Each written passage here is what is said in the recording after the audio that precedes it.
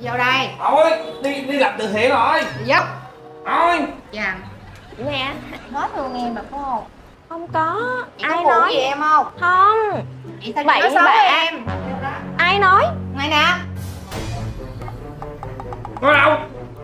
Thôi bọn ơi Em nói cho chị nghe. Ngồi xuống. Đi làm từ thiện Nó nhiều chuyện cũng mới đặt đi làm từ thiện hả Mẹ á, ôn điểm của nó là nhiều chuyện Mà nhược điểm của nó là nó không giữ được cái mồm. Và cái đặc biệt chị biết nó là gì không? Nó ghét ba mặt một lời.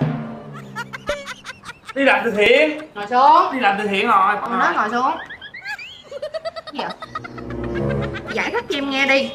Em phải hiểu chị Em phải tin chị chứ sao? Chị không có muốn em buồn. Ngọc em phải tin chị.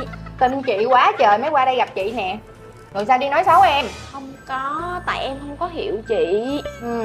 Thật ra là chị không có muốn em buồn. Em hiểu tính chị mà Ngọc